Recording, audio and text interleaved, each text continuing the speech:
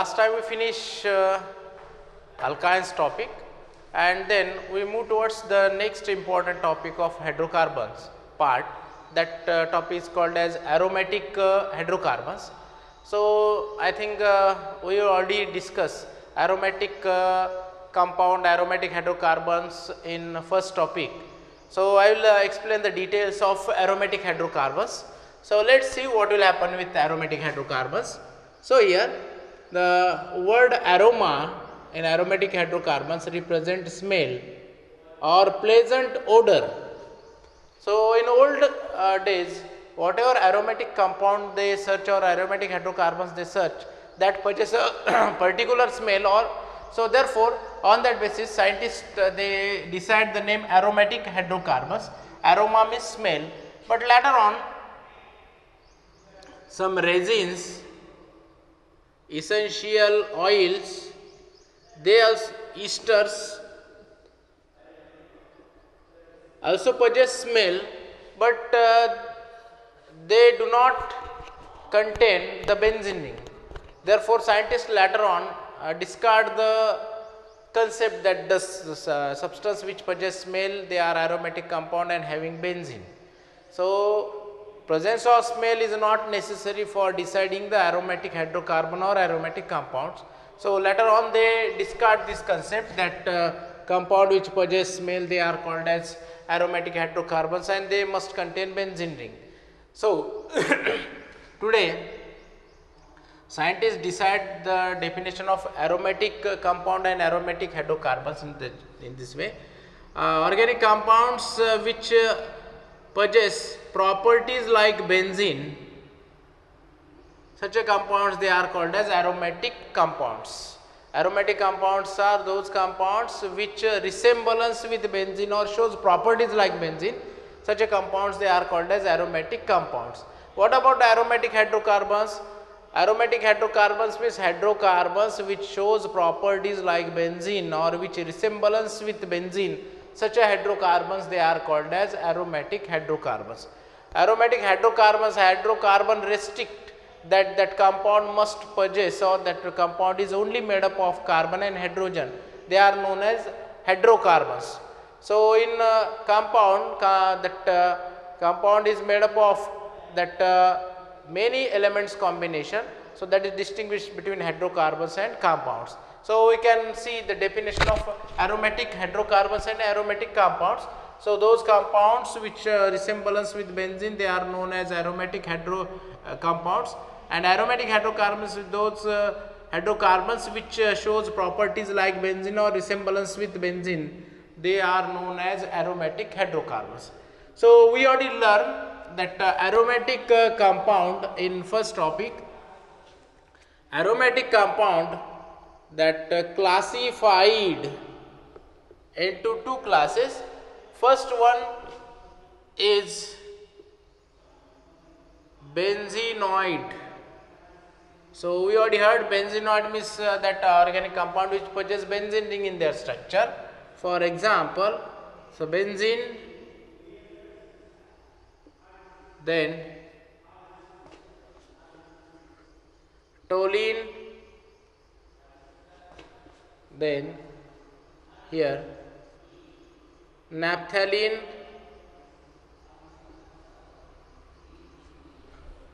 so then phenol all they contain benzene ring in their structure therefore such a substances they are called as benzenoid aromatic compounds i say benzenoid aromatic compounds. So second one that is a non benzenoid aromatic compound So non-benzenoid means those uh, comp- aromatic compound which shows properties like benzene but uh, do not contain benzene ring in their structure. Such a substances they are called as non-benzenoid aromatic compounds I say. So example, so we already learned this example. So this is called as tropone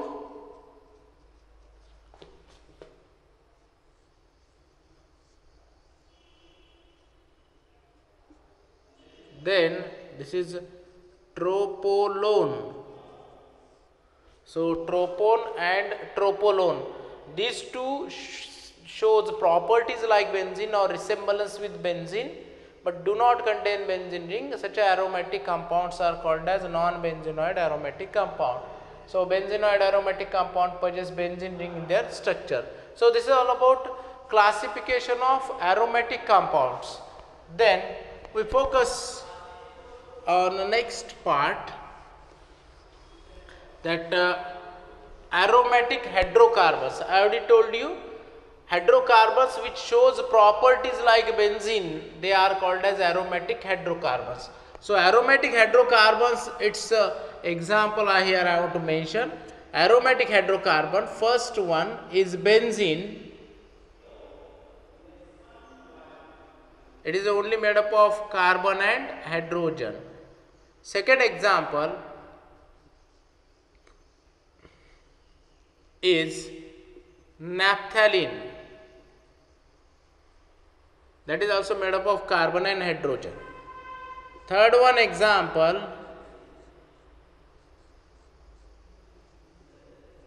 is anthracene made up of carbon and hydrogen and have possess the benzene ring in their structure. The next one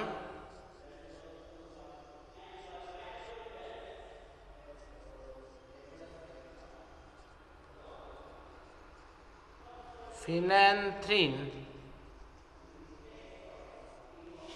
phenanthrene that is also aromatic hydrocarbon. The next one is toluene toluene also possess carbon and hydrogen and uh, also contain benzene ring and made up of carbon and hydrogen. Next one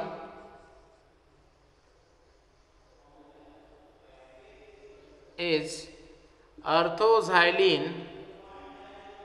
This is also made up of carbon and hydrogen and possess benzene in their structure. Therefore, all they are called as aromatic hydrocarbons. So, these are the examples of aromatic hydrocarbons. Then we focus that aromatic hydrocarbon must possess or resemblance with benzene. So, our focus on benzene, how benzene is different than alkane, alkene and alkynes that I, uh, we want to discuss here. So, then we focus on benzene and alkanes, alkene and alkynes.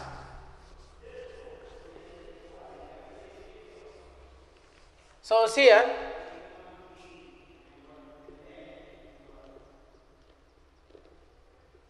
So, aliphatic hydrocarbons and here we discuss the aromatic hydrocarbons.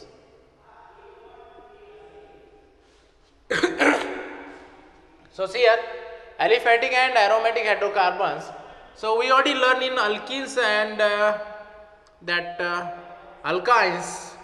So benzene contains 6 carbon, 6 carbon contain alkane is hexane. Formula C6H14. Then hexene. Formula C6H12 then hexyne formula C6H10 then here we discuss about that benzene.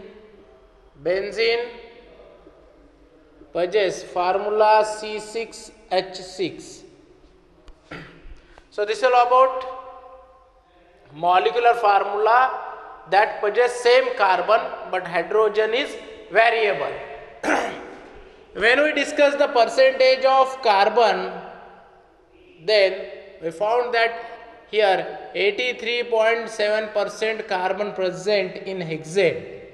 So I think you heard how to calculate the percentage of carbon. For that purpose you have to take the molecular weight of this hexane. So here for hexene percentage of carbon is 85.7 percent and for hexyne it is 87.8 percent carbon present. Then we observe that here as number of hydrogen decreases percentage of carbon increases. With respect to benzene here hydrogen are very less as compared to hexane, hexene, hexyne therefore percentage of carbon is observed to be 92.3 percent. So when we compare the aromatic and aliphatic hydrocarbons, then we observe that benzene contain more percentage of carbon as compared to hexane, hexene and hexyne and due to that when we burn the benzene then benzene burn with sooty flame. so blackish parts comes therefore it burns with sooty flame uh, while aliphatic hydrocarbons they burns with non-sooty flame. There is a distinguish why benzene or aromatic hydrocarbon burns with sooty flame because they contain more percentage of carbon as compared to alkane, alkene and alkynes. So therefore that aromatic hydrocarbons burns with sooty flame we consider here benzene benzene that is first member that also burns with sooty flame. Having percentage of carbon 92.3 here hexane hexene hexyne that contain 83.7 85.7 and 87.8 percent carbon. As compared to benzene less uh, percentage of carbon present therefore they burns with non sooty flame. Benzene burns with sooty flame. This is one of the distinguished point. Then we focus on next important uh, thing so, we already discussed that carbon carbon double bond or carbon carbon triple bond which is called as unsaturation. So, alkene and alkynes. So, we can easily detect alkene and alkynes by using these two tests. First one that is a bromine test. I already told you bromine have red color. When bromine react with alkene or alkynes then pi bond breaks and bromine add across the carbon carbon double bond or carbon carbon triple bond. So in this uh, alkene it will form that uh, vicinal dibromide and uh, with alkynes it form tetrahalides or tetrabromides. So what will happen? This is colorless alkynes react with uh, red color bromine and if bromine react to form product then that product will be colorless external observation red color bromine get converted into colorless. It indicate that there must be presence of carbon carbon double bond or carbon carbon triple bond. Therefore this is called as a test for unsaturation. This is test for unsaturation. So unsaturation test is positive with alkene and alkynes with bromine so this is a positive test. Positive test means red color converted into colorless. So in another way we mention red color decolorize. So second detection of double bond and triple bond that this uh, alkene and alkynes when react with the Baeyer's reagent. So we already heard Baeyer's reagent have purple color so Baeyer's reagent is nothing but alkaline KMnO4 is called as Baeyer's reagent that is dilute alkaline KMnO4. So what will happen when this dilute alkaline KMnO4 react with carbon carbon double bond or carbon carbon triple bond it breaks pi bond present in alkene and alkynes and therefore whatever product that get formed that is a diol that product is colorless therefore external observation purple color decolorize or converted into colorless. So this is external observation red color disappear purple color disappear. It indicates that there is a presence of carbon carbon double bond or carbon carbon triple bond and these two they are open chain structure. So when we carried out the same test with bromine as we already learned that bromine have carbon carbon double bond in structure but what will happen when treat bromine with uh, uh, that uh, benzene then red color remain as it is. There is a no decolorization of bromine. So benzene when you react with bromine red color remain red. And Baeyer's reagents purple color remain as it is. There is a no change in color. So it indicate that benzene contain carbon carbon double bond but it is not an open chain structure. Uh, because if it is open chain structure then it uh, decolorize bromine red color it decolorize purple colors Baeyer's reagent purple color it decolorize. So as this alkene and alkynes are open chain compound or aliphatic unsaturated compound means open chain benzene do not decolorize the red and purple color of bromine and Baeyer's reagent. Therefore it gives hint that benzene contain uh, the carbon carbon double bond but it is not an open chain structure. Then we focus on next distinguished point between this aromatic and aliphatic hydrocarbons. So next distinguished point is this one that uh, carbon carbon double bond or carbon carbon triple bond that is alkene and alkynes easily undergoes addition reaction for example last time we discussed that carbon carbon double bond react with HOCl hypochlorite we learn this triple bond also hypochlorite so HOCl then we learn addition with HX. HX means HCl, HBr, HI. We already learn in alkene and alkynes we learn that addition of HX according to Markovnikov rule. So there is addition reaction. So if benzene contain carbon carbon double bond then it also undergoes addition reaction. But what will happen? The, that HOCl and HX can't give reaction with benzene. Means it never undergoes addition reaction with benzene. There is a no reaction with HOCl and HX so with alkene and alkynes there is addition reaction benzene can't easily undergoes addition reaction with HOCl and HX so that is another distinguished point. Then what will happen next? So next important reaction in between these two is this one that aliphatic compound that is particularly alkanes that is saturated one undergoes a substitution reaction easily while alkene and alkynes they favors addition reaction because of presence of pi bond. In alkane there is no pi bond therefore undergoes substitution reaction. When we focus on benzene benzene favors substitution reaction so benzene favors substitution reaction like saturated compound. So it indicates that benzene have some different structure and extra different property because it possesses cyclic structure. It is unsaturated but can't add HOCl, HX, bromine and Baeyer's reagent. But it undergoes substitution reaction easily like alkanes or saturated compound. Means benzene have different structure have possess different properties as compared to alkane alkene and alkynes therefore its structure also somewhat different. Scientists that think then uh, next important shocking thing is this one that we already learned alkane and alkenes.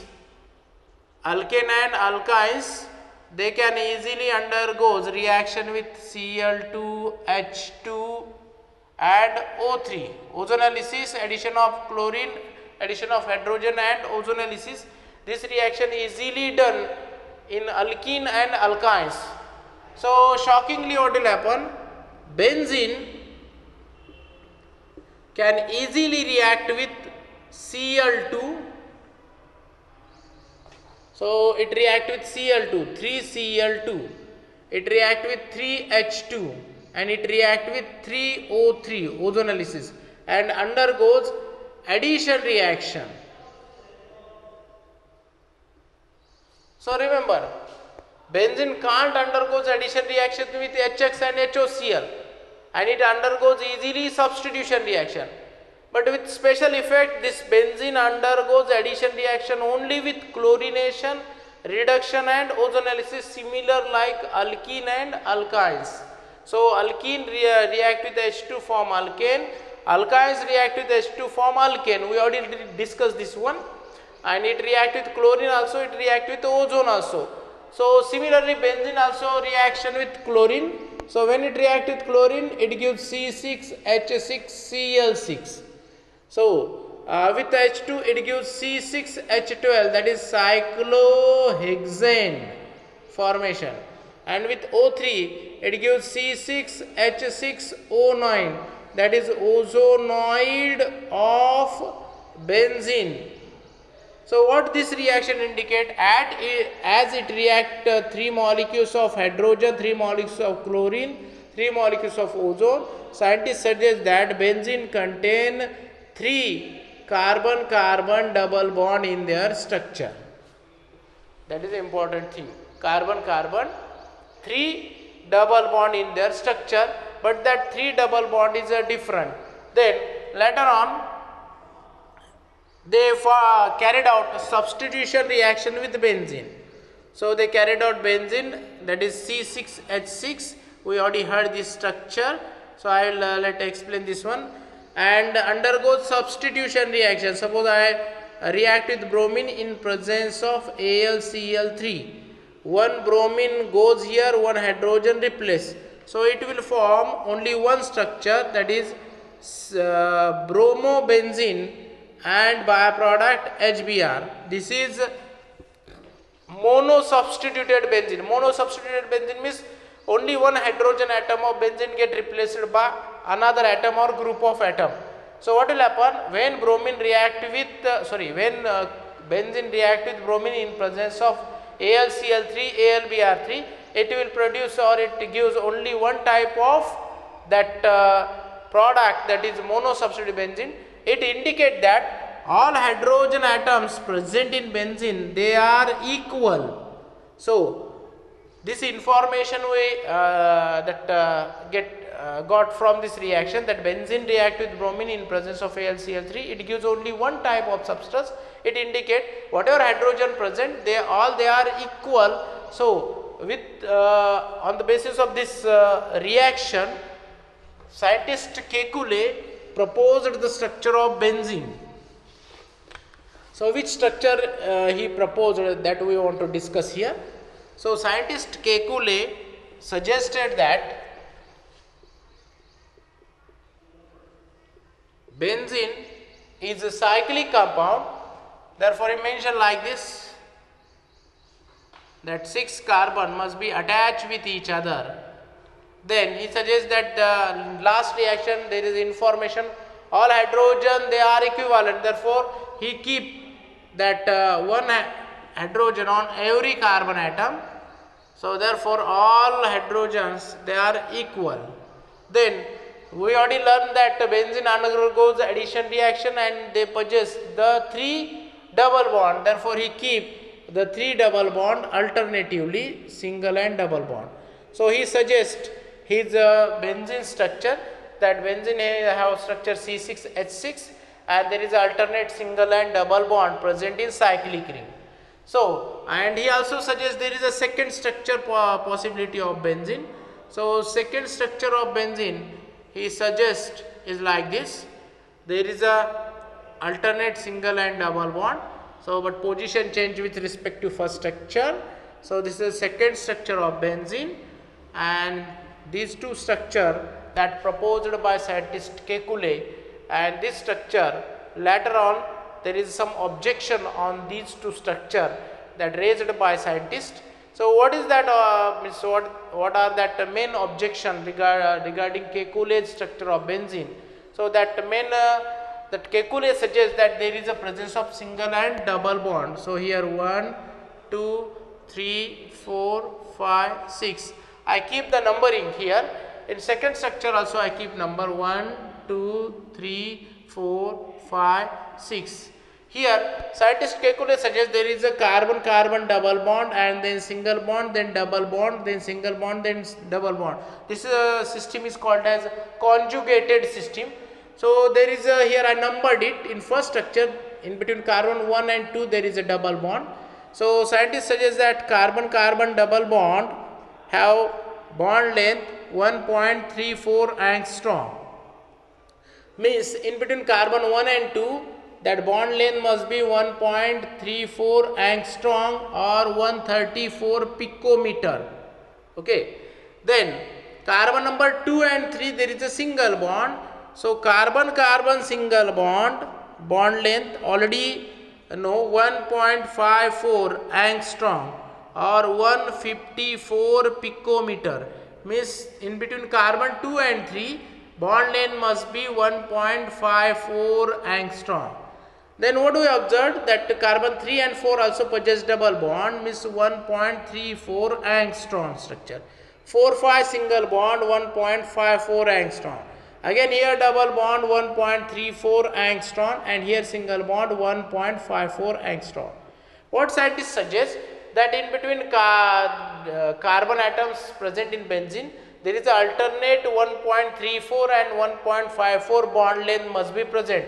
Same thing happen here also that in between 1 and 2 single bond therefore 1.54 in between 2 and 3 there is a double bond 1.34 so again 1.54 1.34 1.54 1.34 so this bond length present in benzene structure proposed by or given by scientist Kekulé.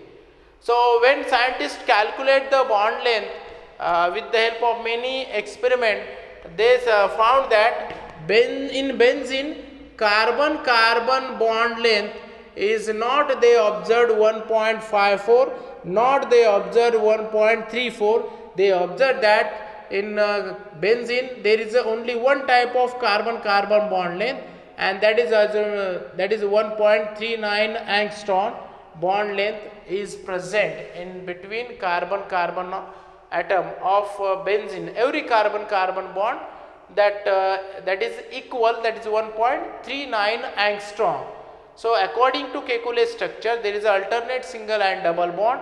Therefore what will happen?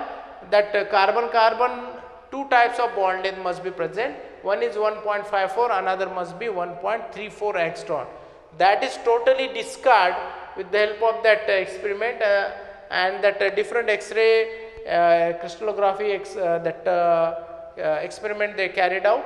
And they found that benzene possesses only one type of that bond length and that bond length is supposed to be 1.39 angstrom so this bond length whatever found in benzene its explanation cannot properly uh, that, uh, ex, uh, that uh, discard or explanation cannot properly handled by scientist. Therefore, whatever proposed structure of benzene is there uh, that is the Kekulé's proposed structure scientists later on discard uh, these two structure from that suppose supposed that there is another structure of benzene that another structure is uh, scientists proposed or that uh, given with the help of molecular orbital theory. So, uh, uh, molecular orbital theory that proposed the new structure of benzene and uh, to support that molecular orbital theory there is another resonance structure or resonance effect is there that also gives the correct structure of benzene. So, today in aromatic hydrocarbons we fo focus on definition of aromatic compounds, aromatic hydrocarbons. Then we discuss benzenoid and non-benzenoid aromatic compounds, how we distinguish that benzenoid and non-benzenoid from each other that we also learn. Then we discuss uh, that uh, aliphatic and aromatic uh, compound, how they are distinguish each other, that alkane, alkene, alkynes, how they get separate from benzene, that distinguish point we learn here. And on the basis of that uh, distinguished point and some chemical evidences how scientist Kekulé proposed the structure of benzene that we discuss and how other scientists they discard the uh, proposed structure of Kekulé with the help of many experiment. And then there is actual structure that get uh, produced uh, with the help of molecular orbital theory and resonance effect. So, molecular orbital theory and resonance effect how they uh, gives the correct structure of benzene that we explain in next period. Thank you.